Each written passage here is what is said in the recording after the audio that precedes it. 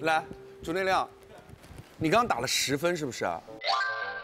我跟你讲啊，你想清楚啊，你老婆看见这个这期节目之后，立刻穿上女仆装去上班。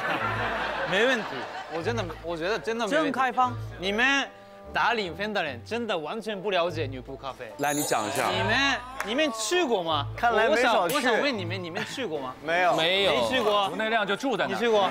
那我稍微演一下。好我是好女仆。哦你你没去过是吧？我没去过那你进进来。お帰りなさいませご主人様。哎，好，どうぞ。哎，萌萌的是呃，谢谢。 来了，这是主菜，主菜上了之后，我现在开始给它呃咒语，呃，おいしくなれもえもえ Q，然后咒语的时候，把这个很很好喝了，更好喝了，更好喝了，更好喝了啊。喝完了之后跟他聊天。 你最近什有什么烦恼啊？我没有女朋友，没有，那你很帅啊！对，真的，我喜欢这种我。觉得你很漂亮。是吗？谢 谢谢谢。想要为什么？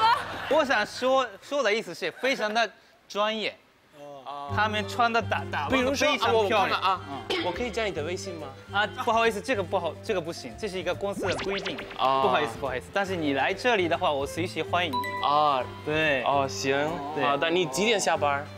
也不能告诉你，这是一个我们在店里。所以，所以我怕是这种人，知道吗？也有懂我的意思吗？对，但是这是一个公公司的规定，不能不能问私人的问题。哦，而且最关键的问题是，他们为什么 OK OK，他们为什么做这个工作？他们的工资比其他的工工工作低，啊？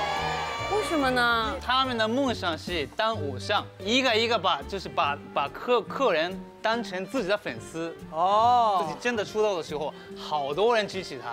这就等于说是线下的一种练习生阶段，在养成的一个阶段，对吧？，对。好，长见识了。